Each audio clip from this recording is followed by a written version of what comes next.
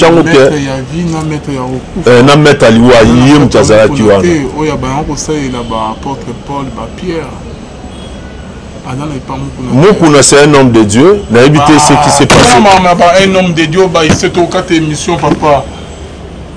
me bato bayebi mokuna yango ya paster songo naoyo na ka wana nzambe asekwisa bibembe hmm. azali na kati ya mokuna te aza na kati ndete ndeni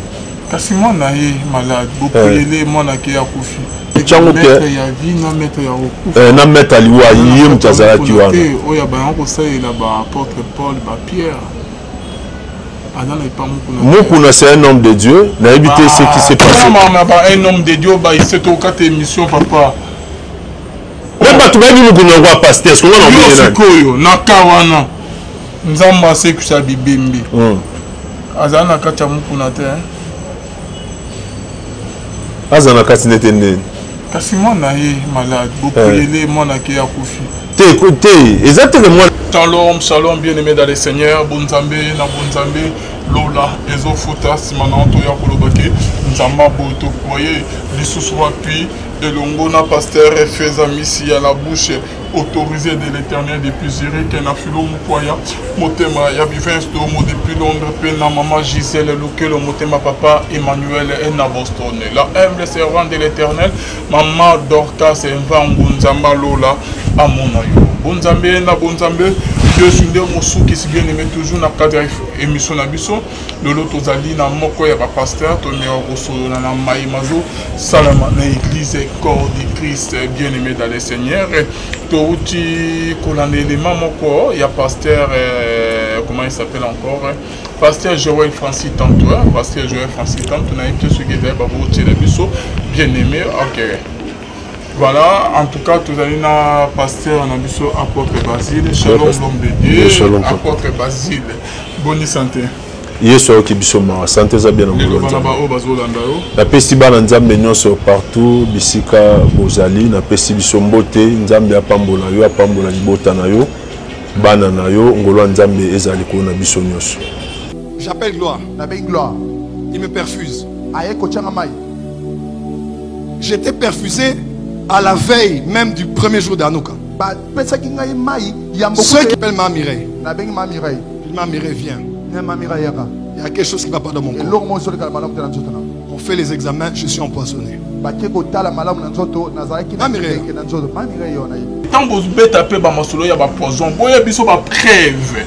ba preuve scientifique boyela biso ba preuve moko ya hôpital ya ba oyo ezolakisa ke basali boye ke boliaki ya solo poison nga nayebi ke si tu es empoisonné botuna baoyo nyonso tu batraitaka poison une fois ke bazwi baperfuse oyo poison epanzani na nzoto okufi sur place pas même kuta esenga pas même une minute kaka ntango bazotya o mai mai ekomi kokota perfusion epanzi yo poison na nzoto mpe okufi sur place ebele bazalaka empoisonne bakenda na bahopital badokter batatona oyo oh, malaria oyo oh, bona bo totya ye mai batya ye boandela ye poison akufi poison epanzani na nzoto eza na interdiction oyo oh, ke baboyaka eza interdit soki ke oza poison oza na poison batya yo mai baperfusion okomeka yango te mais francis joel il nous prend on dirait toza banda moko ya mike en tout moment bino basala nzambe boleka liboso ya caméra boya kokosa biso hein? yo baotyela poison pourquoi mais eza na baoyo batyela bango poison ya solo ebele sikoyo nde ekomi ya lokuta bomona biso bana mike te bomona biso ondire ke totanga te okoma yo oleka liboso ya kambe oyo navandi nayoki bien te nabengi soki mama mobo na eglise mwana na nga aye atye nga aperfise nga boyoka aperfise nga navandi asala teste bopoison perfusion wana epazami poison na nzoto te est ce que mama wana ayebi ndenge nini basala examen ya poison mpona ayebeka eza poison na kati ya hôpital otangeli biso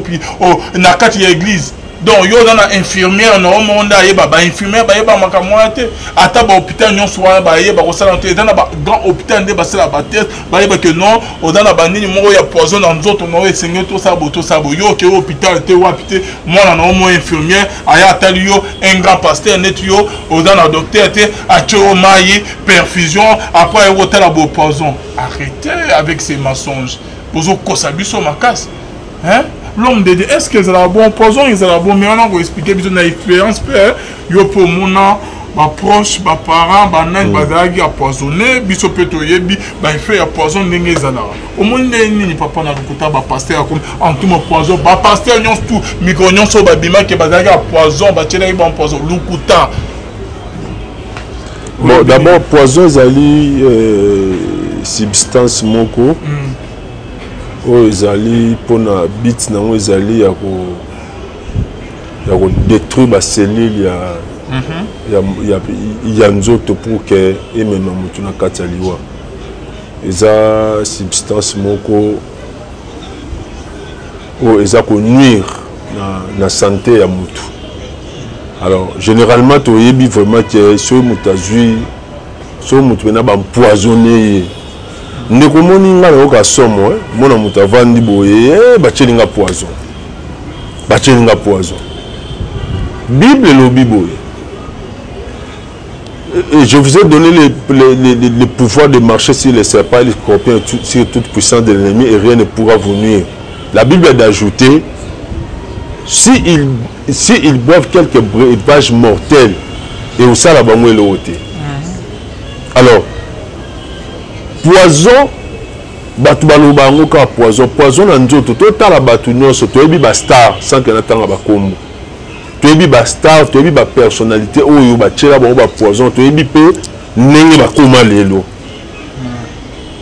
eza mpasi motu moko boye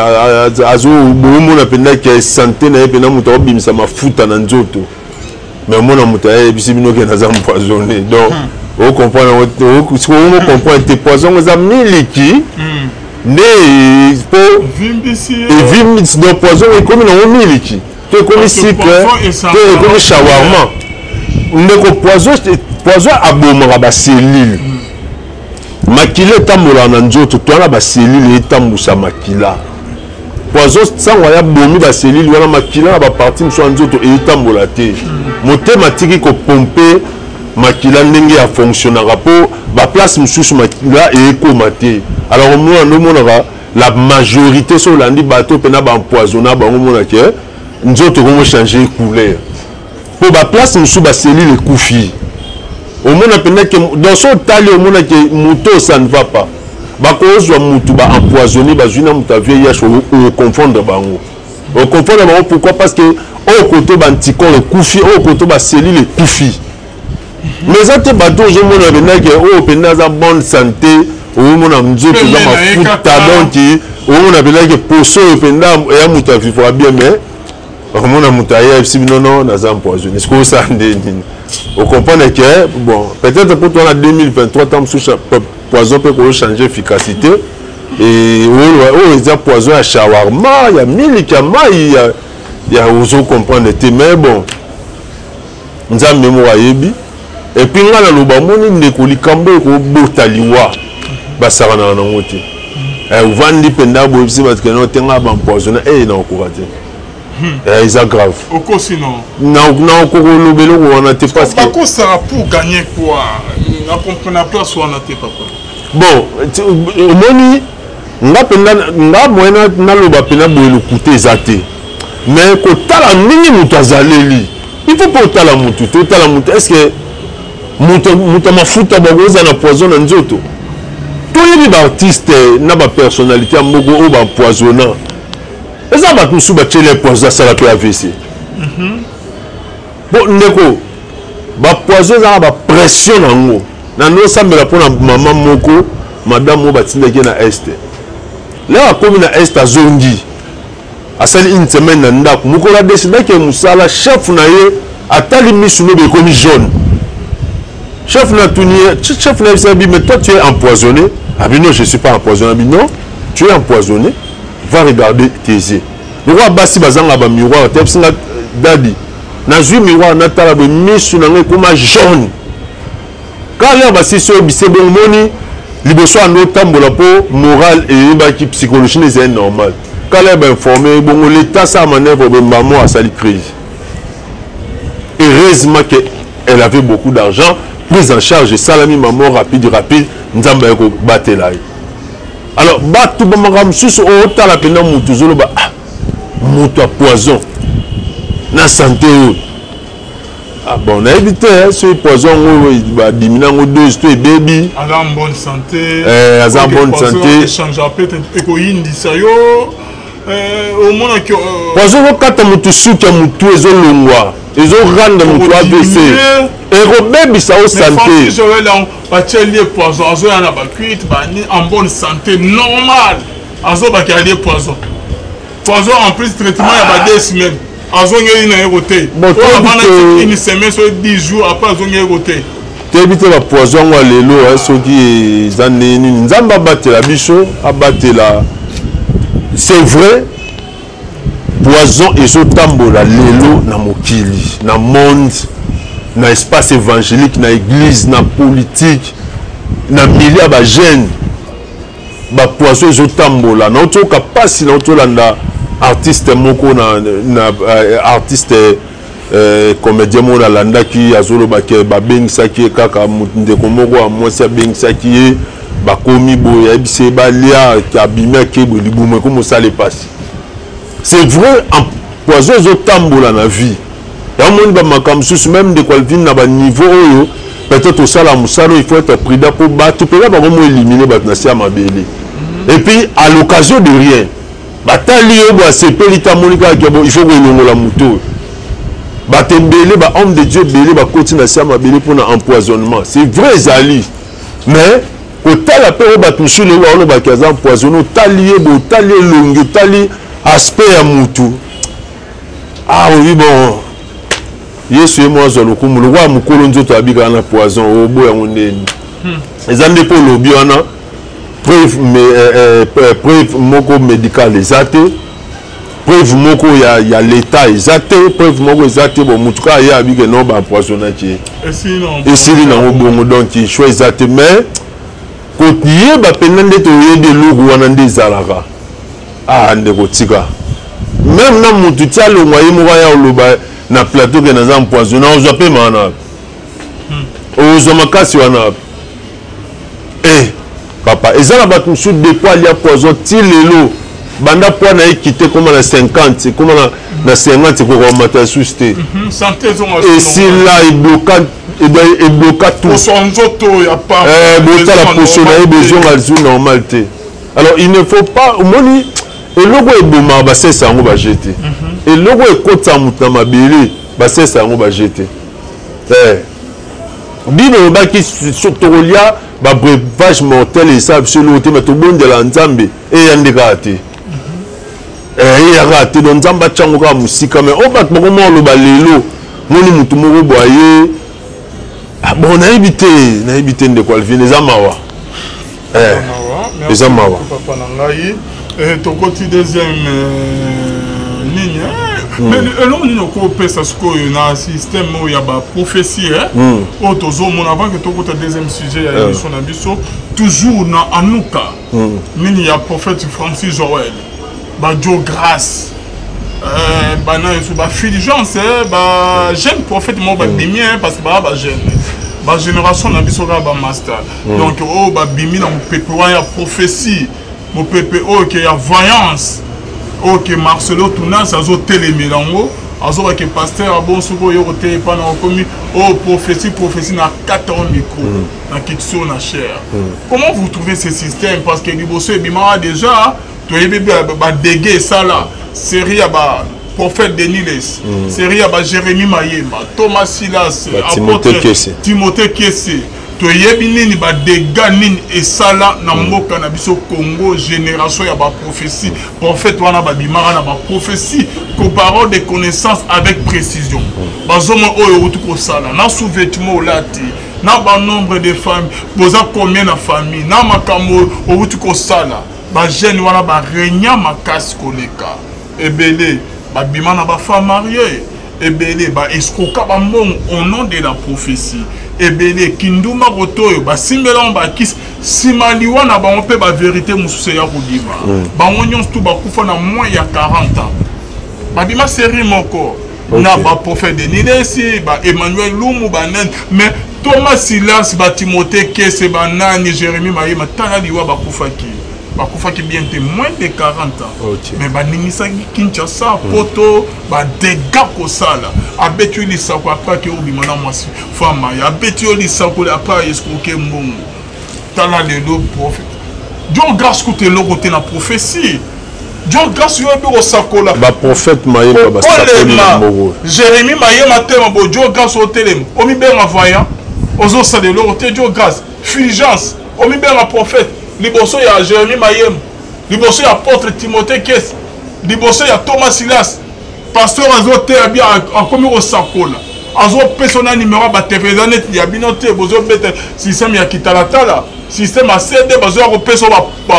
baprofesi bazoya kotekela bandimi amemeli oyo azabu azabu apo oyo kopesa profesi john grace otelema te joel francis tatu bafilision otelema botema liboso ya bajeremi mayema te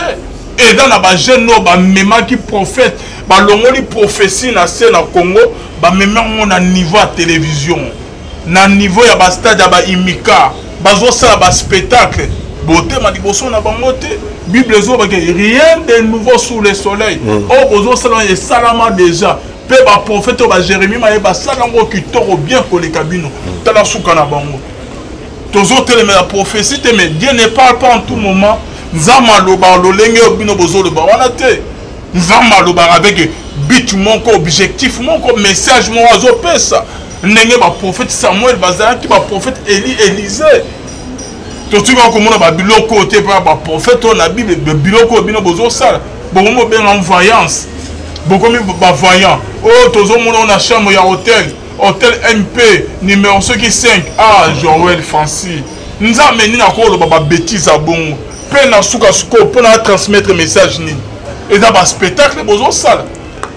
oyo oh, nazomona mama mwa nkombo na ye boye nazomona na seki na yo boye jo grace botika lokuta botika ba spectacle baninga na bino ba jérémie mayeba bakulutu na bino basakola bie bote bino vous êtes des petits prophètes ba prophète mo mineur boza ndenge moko te na ba prophète samuel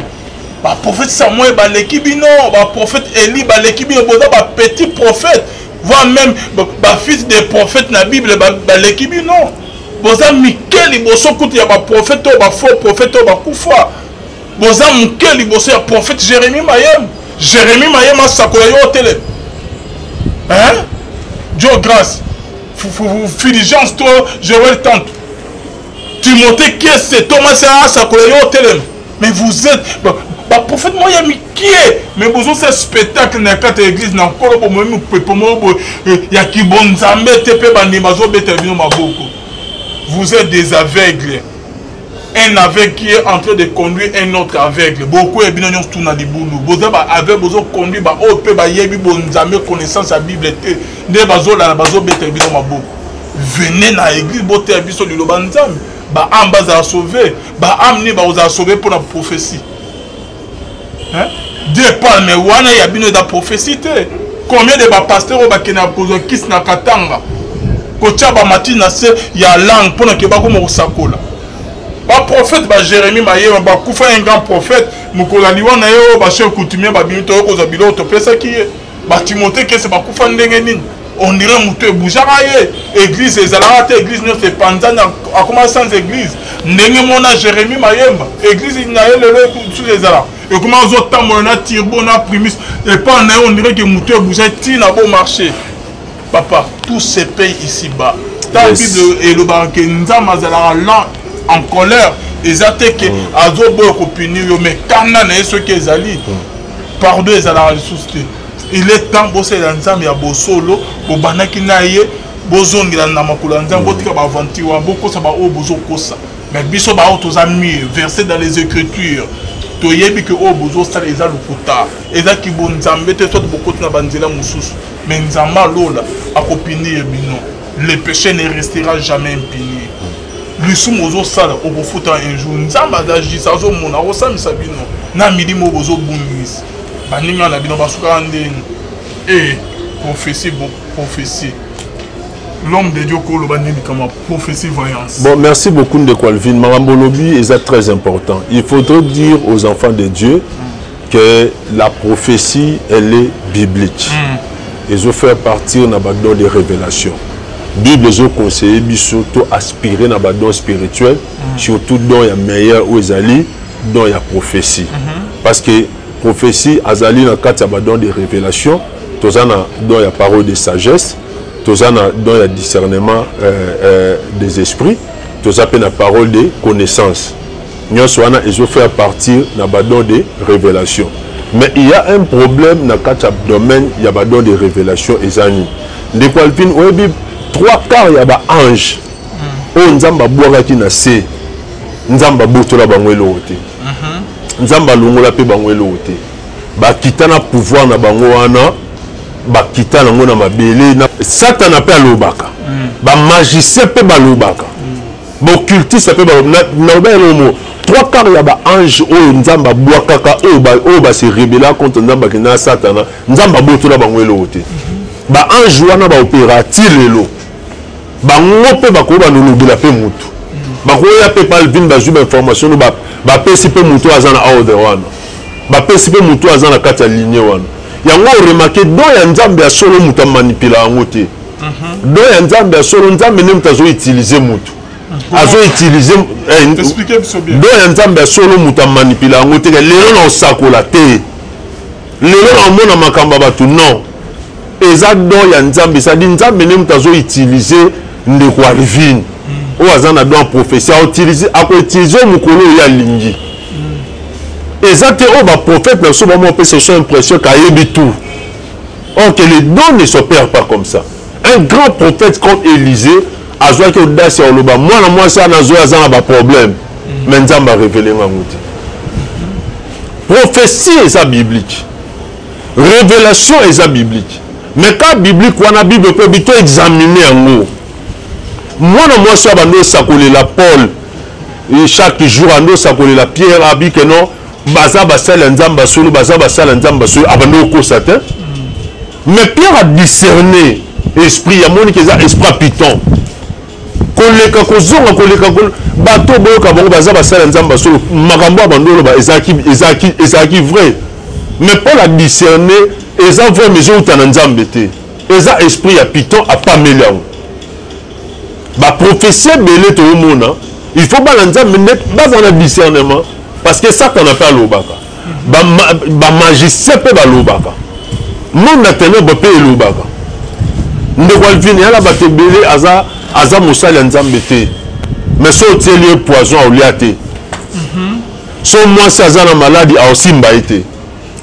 bango siko babengaka sixième sens eh, bango siko bango siko base camoufla na sixième sens hmm. mais en réalité eza sixième sens te aza na babiloko na ye bademo na ye na nzoto hmm. oyo bayebisa ete vere okosimba yango te batyela yango poison hmm. nani yango aoyebisa biloko wana satana nde azoyebisa biloko wana donc c'est pour dire aux gens que satana mpe aloba yango mona domaine ya prophétie babi il faut kodiscerne yango todiscerne yango par rapport ya verité ya ba écriture est ce que nzambe aotrouve important ayebisa kaka motu kona tika leso ya rouge hmm. est ce que nzambe aotrouve importance nayebisa kaka motu ke avobima okushaki na eh, bandeko bapase ngai eh, est ce que nzambe ozwa importance oyebisa kaka motu ke avoyawa outi osangana na mobali moko na hotel moko est ce que nzambe azwa importance wana oyesaka motu ke switi olati eza chokola nayebi te prophétie tokoexamine yango à la lumière de la parole de dieu tokotala yango est ce que ezocadre parce que prophétie nyonso il faut ecadre na oyo nzambe aloba parce que baprophète ya ancien testament na baprophète ya nouveau testament baza ndenge moko te Il y a une différence entre ba prophètes ya Ancien Testament na ba prophètes ya Nouveau Testament ou bien ba prophètes ya église ya lelo. Alors nyonso wana il faut to discerner ngo totala est-ce que makambo alobi eza yango wana parce que na kati ya Bible bato bazalaki na besoin na, na, na au temps de la bible na ancien testament bato bazalaki na besoin bakekutana na prophète kaka po parce que bango kaka bato bango ezwa onction wana ya koyebisa bato nde vino ezali mais lelo eza bongo te lelo eza ke mutu molimo mosantu wana na kati ya mutu nyonso mutu nyonso tu akosambela mutu nyonso aza na révélation aza na discernement alors on doit examiner cela koyeba est ce que makambo bato baoloba eza vrai voilà ce que je peux dire Merci beaucoup l'homme de Dieu. En tout cas, je crois même que le message est liquide. Hein? Oui. Ok, mais pour la bas oh, ok, bah, bah fidèle, oh, ceux qui courent mm. derrière la prophétie,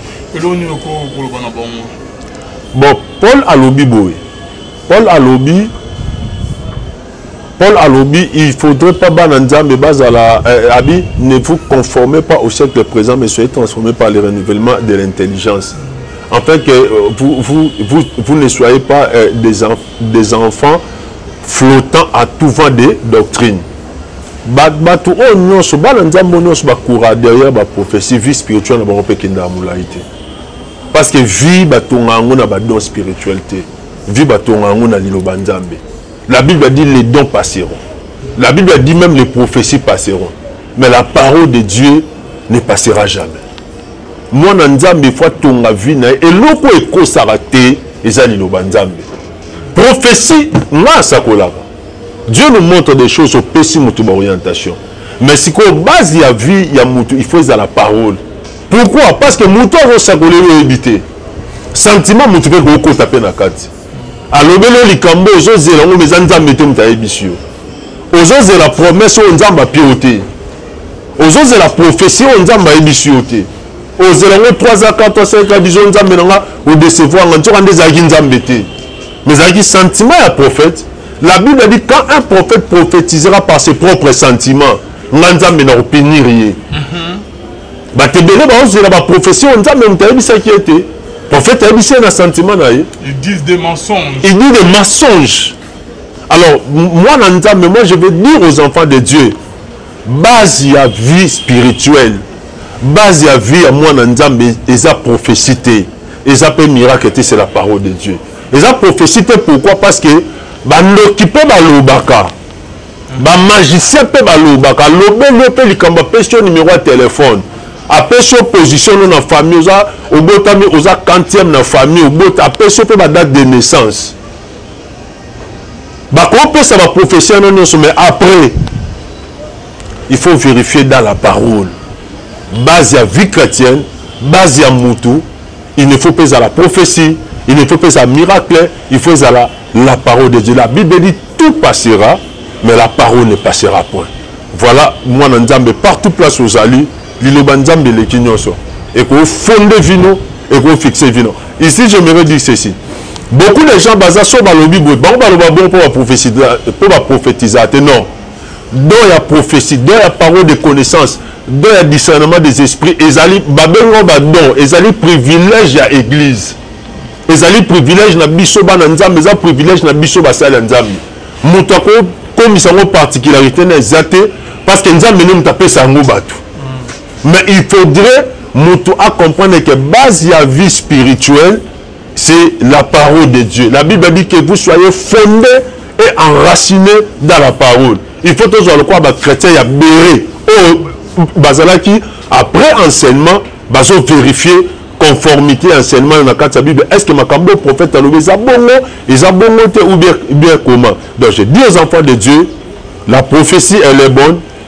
Les révélations, elles sont bonnes, mais il faut foi ezala fondée dans la parole de Dieu. Parce que si ozolandela vika na baprophétie, oko se retrouver na maboko. Bien aimé, euh, eza na lisolo moko toyebi te nzambe aza na évêque moko na to aza na évêque moko na te eza na lisolo moko bien aimé esalami semaine euh, dernier bamemeli eveke mukuna alakisaki leki ya fere gole gola oyo azalaki malade alingi akufa depuis ka batie mosika apriele adelivre ye akomi kotambola abiki changement ezali ndenge mpe video etambolaki famille moko bamemeli évêque mukuna mwana na bango azobela baye kotika ye na église évêque mukuna apriele mwana mwana akufi bien aimé dans le seigneur biso tomona awa na babible bien aimé jésus christ de nazareth bamemela ye bamalade yesu abikisa bien aimé ah, eza na verse moko te na bible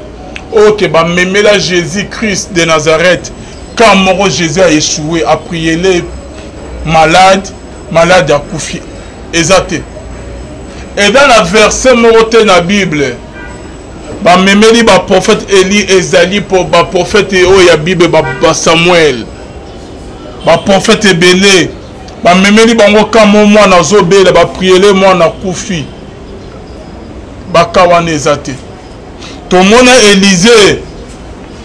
mwasi moko la femme euh, sunamite eh? mm. amemeli ye mwana na ye akufaki elize aprie aprie mwana asekwi bien aimé jésus christ de nazareth voi même lazare se akufaki trois jours après akomaki kobimisa na solo yesu atye maboko likolo ya lazare abeleli lazare balongoli mpe abeleli lazare sor lazare aseki mpe abimi tomoni yango na baapotre baapotre pierre baapotre jean baapotre paul kosekisa bibembe kopriele ba malade kobika et bible ezoloba voici les miracles accompagneront ceux qui auront cru à mon nom bakochasse bademon bakotyela mm. malade bamaboko bakobikisama bibembe kosekwa sikoyo mokuna ndibela nzambe to andimela nzambe te nzambe atiki eveke mokuna ya aseka to atiki ye te parce que ndenge nini mama famille bakoyela omwana kopriele mwana azobela otie maboko opriele mwana mwana kufi eza nini kibonzambe te kibosatan est ce que nzambe azobimisa mokuna na mposa ou comment on ne comprend pas oyo oh, ezali premier cas namona na vie na depuis na banda kotanga makambo ya bible de genèse na apocalypse baye na ndeko azobela epai nzambe alola ndeko yango akufi ndo nzambe ya esue nzambe ya mokuna esue c'est trop grave elekeli nga makasi apôtre basile olanaki hmm. nini nde bazopose évêque moko na baquestion ndenge eh, ndeko moko mpe asalaki analyse réaction na ekozala nini mais kana kobetela biso na lisolo yango nde oyo oyokeli yango ndenge okompra mpe opesi kosala analyse na ndenge na bon nalandi yango bayelaki avec mwana asambeli mpo na mwana selon nde nalandi avec ye moko bayeli ye mwana asambeli mpo na mwana après ba parents na bakei nde bake oke na mwana na hôpital akufi mais kolanda yango eza mpe peut-être pas azalaki mpe au courant te ezaka nde bato bazalaka na église baye na mwana ya sambeli esili bato bakei mais comme si bato balandelaki bayeba mwana yango baye olobaki akufaki nde sikoyo journaliste nde otuna eveke nde nini osambeli mpo na mwana mwana akufi alors ndeko alvine eveke alobi esali nini ndeko tika napesa napesa pase yesu abi sikoyo bakela mwana hôpital ya ngani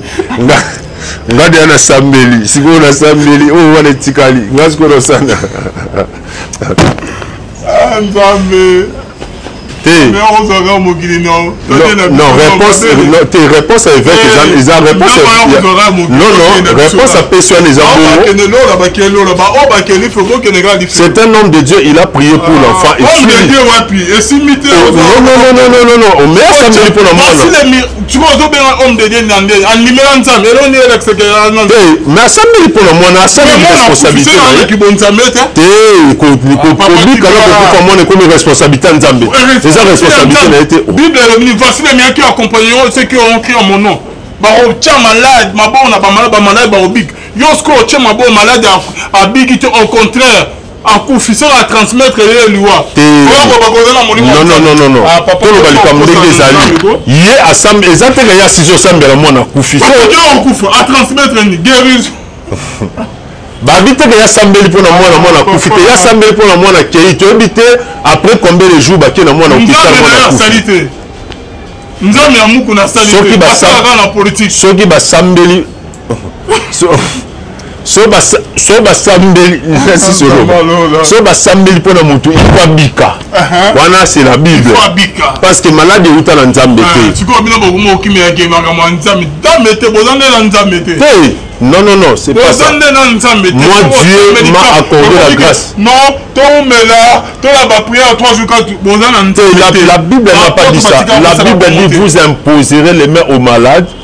et les malasi yango bien yo ozwaka ba prière na bandimi na yo ndeni il se met na ba prière elati contexte kasi yango na oloba ti te eh, oh, non non non oh, oh, te ndeko eza bato mosusu yesu abikisi na bible alobi tes péchés te sont, te sont pardonnés il y a des cas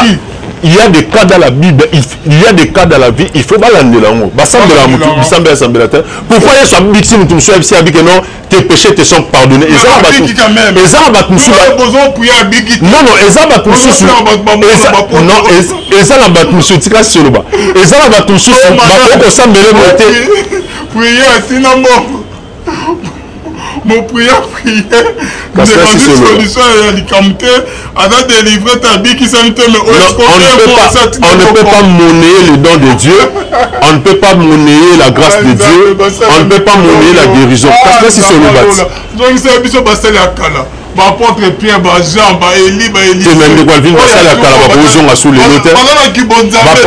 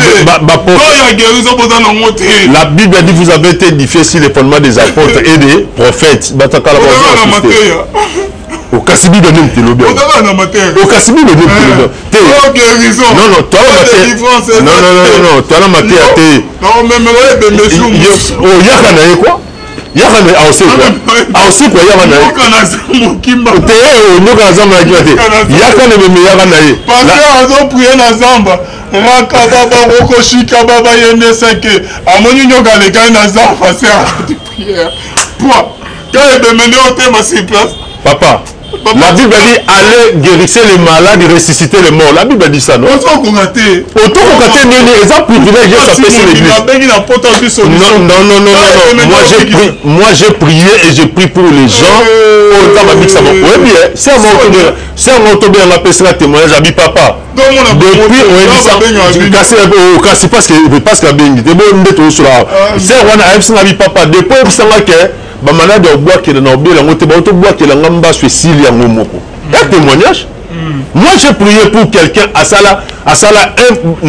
na mwa moko bayibi ye 24 téléphone mm. mais na biso ndeko alvin lelo mama akita na talaka babis na biso ya kinshasa akiti na taxi bis abosani telefone abengi yango be chauffeur ayebisi ye obosanaki telefone na taxi bis talaka bachauffeur na biso ya congo me bazongisela mama na telefone android parce que on a prié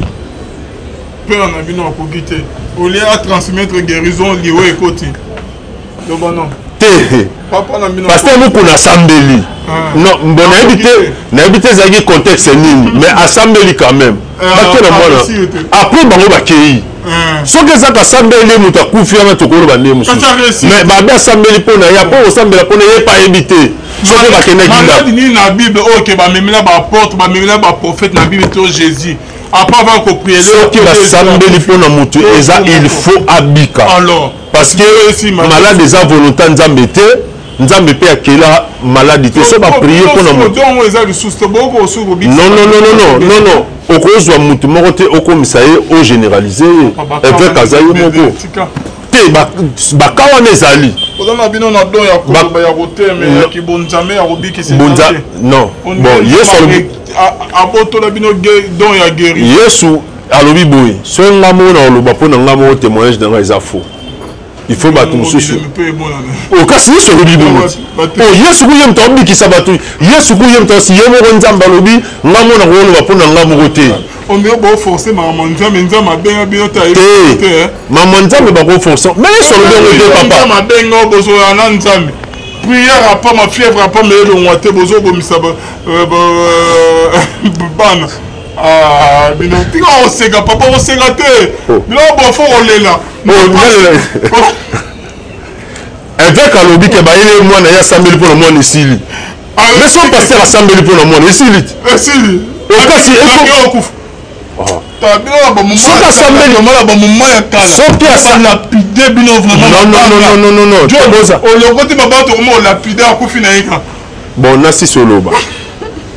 okoloba nini yesu atie badon na eglise mpo na bana ne babikisama apesi bana ya bagirgio te bazala nango te ndenge nzambe okatangobenga bino te girgio eza te oya kolobaki nzambe abengo nde donc seke mambo bible olobi ekosa nango mpo na bia seke mambo bible olobi ekosa nango malaria ya pamba oh, okobikisa parce que bible nde elobi ke nzambe atye na kati église apesi apesi badwa ya ministère apesi oyo na kati église apesi badwa ya puissance badwa soki toza nango te seke bible ekosi soki nde wana eza te seke bible nde ekosi lokola bible bo reconnaître mabe na bino tata na bino abomisi mwana te ah, bafamille wana baza desu bana kano na bino makasi soki toa na don wana te kasi nasi soloba te eh. soki toa na don wana te seke bible ekosi bible obi étant monté au ciel il a fait des dons aux hommes hmm. il a fait des dons nzambe apesi na kati église badon ya puissance badon ya guérison badon ya miracle mpo na edification mpo na exhortation ya bana na ye mpo na kokolisa bango non faut pas dire ça soki olobi soki olobi bongo seke ye azalaki kaka motu lokola bato nyonso aoke nango nde yango nabi te ayaki ah, nzambe my god soki ah, soki bapaster baa na don wana te seke bible ekosa mais lokola eza non ndeko alvin faut pas dire ça yo moko nde oza wana oza fruit ya bapaster ya congo bapaster baoza nango te ndeni soki badon wana soki badon wana eza te seke bible ekosa ndeko alvin dans ce pays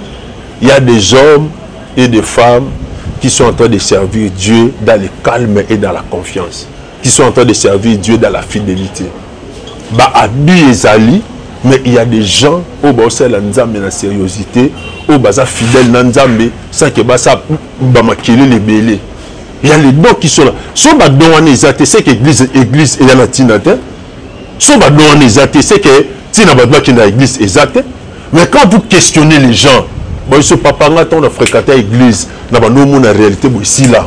Nga on a fréquenté l'église, na nomo na réalité bo ici là. Ba na mwana wana. Pasteur asambeli pona batebele. Na évité ezaki na contexte ni to ezaki na réalité ni. Mais ce que je sais, ceux qui basambeli pona mutu, il faut abika. Il faut azwa guérison. Alors dans l'église, Dieu a placé des dons, Dieu a donné des dons pour que bato bazala restauré voilà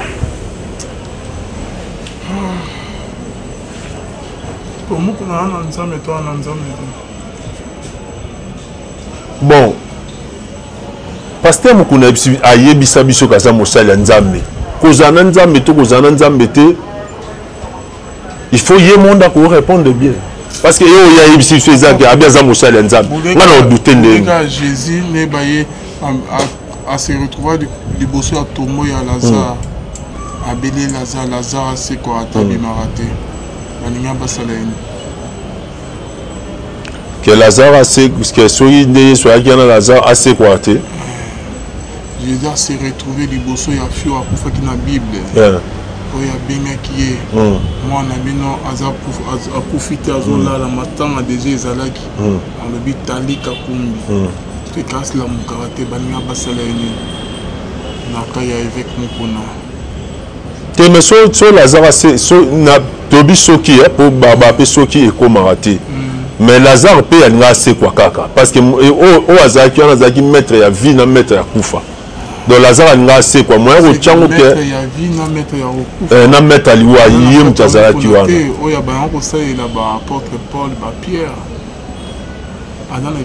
mukuna c'est un homme de dieu nayebi te ce qui se passe un homme de dieu bayisetokata émission papa mpe bato bayebi mokunda yango ya paster sikoyo na omoni sikoyo na ka wana nzambe asekwisa bibembe hmm. azali na kati ya mokuna te aza na kati ndete ndeni kasi mwana ye malade bokoyele eh. mwana ke akufi te te eza te ke mwana ye maladi mais contexte esalemi nga nayebi te babi ke mwana ye maladi pasteur mukuna l'évêque mukuna nalandi ye très bien abi ke ye asambeli mpo na mwana mpe bakei oyo etikali na nsima ye ayebi te mpo na yo eh. réponse na ye okoteli ye to okoteli ye te papa na okoteli ndeni ye asambeli mpo na motu nakotele nini yasambe tikanga nde napesa tikanga nde napesa tikanga nde napesa position biblique te tikanga nde napesa position biblique soki basambeli mpo na motu conformement na bible il faut motu wana abika soki abiki te bon soki abiki te ekomi sikoyo il faut otala yango na il faut sikoyo otala yango na deux positions position soit côté à l'homme de dieu soit côté ya motu wana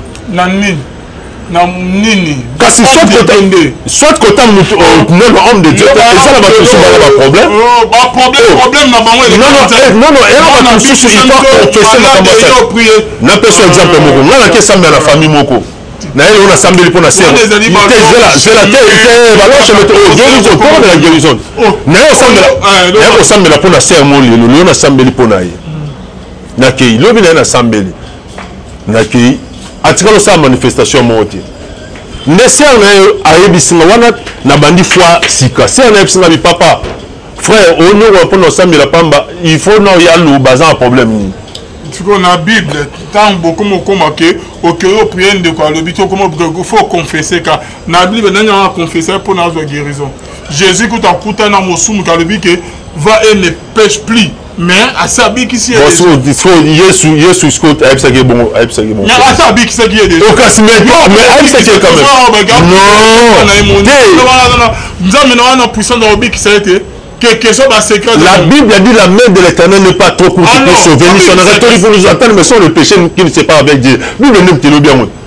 esala makambo susu soki Oh, kasi bino mtelobi bongo la main de l'éternel n'est pas trop courte pour sauver ni son erreur plutôt dit pour nous mais ce sont nos péchés qui nous séparent avec Dieu la bible nde elobi yango kasi bino mtelobi bongo te et puis la main de l'éternel n'est pas trop courte pour sauver ni son oreille trop dite pour nous atteindre mais sont nos péchés qui nous séparent avec Dieu il y a des choses oyo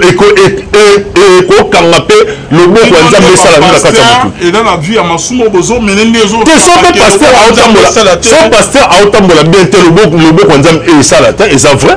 yango moni ba pasteur ebele ba se retrouver na magie ba se retrouver na sorcellerie mpo yebi ke etamboli oyo ya perversion ya débauche oyo ya désobéissance etamboli oyo ya salite nzambe aosala elo te yango wana ba pasteur ebele ba se retrouver na ba magie na ba occultisme mpo aopera na satana soki paster aotambola mabe loboko ya nzambe esala te mais oyo ya paster mukuna nayebi te parce que il a prié pour quelqu'un eloko akoki osala yango wana asambeli mpo na motu te so basambeli mpo na motu ifabika non non non non eboso motu wana mpe vi na ye ya bien te eh? okasi boso motala bino ya bete lakisa biso na bible ke moko abikisamaki te pa jésus parce que vie na ye ezali bien te ntango prophète ayebisi nama na bi amibwaka na mai sept fois atindaki na mai sept fois pone tata akende kobikisa ebo pourkoi ayebisaki eka une fois bongo ayebisaki nama ke tubela bamambe no ebo ntango jean ntango jean ntango pierre ayebisaki ayebisaki paralitique wana ke tala biso na miso ayebisaki ebongo point atalaki ayebisaki econfesse mabe okasi pourquoi pas ayaki ayebisa etelemaka euh, directement okasi yango wana basali ya kongo botika vie ya masumu botango nde na kobanga nzambe okoma obomisa na bamalade oh c'est la fin de notre émission bonzambe na bonzambe lo les ofuta bokimela nsima bapaster te yo mokota na ndako priye nzambe akoyoka te onaonayebi bango wana so basambeli mponaokopadisa so olobi bongo sete makambo bilobaki ekosaki Il y a des hommes et des femmes qui sont en train de servir Dieu dans la fidélité, dans la sincérité, dans ces pays. Faut pas dire ça de quoi le vivre. C'est la fin de notre émission. Contact non, il y a un N'a pas si balanza mais nous sommes partout place Bozali. Yesu apambola biso. mes frères et sœurs bisika ya mabe ezali ya malamu mpe ezalaka ya des hommes kasi na osilisi te ya des hommes et des femmes osala nzambe ya komaîtrise bible mais ya baonction ya badonce pite bozaso bongo ase contredit mpo ye apesi na baoanango te bozotambola mabe bokoma kokangama kaka na liloba nkolo bozanzambe ezali kona biso ke dieu nous bénisse bye au revoir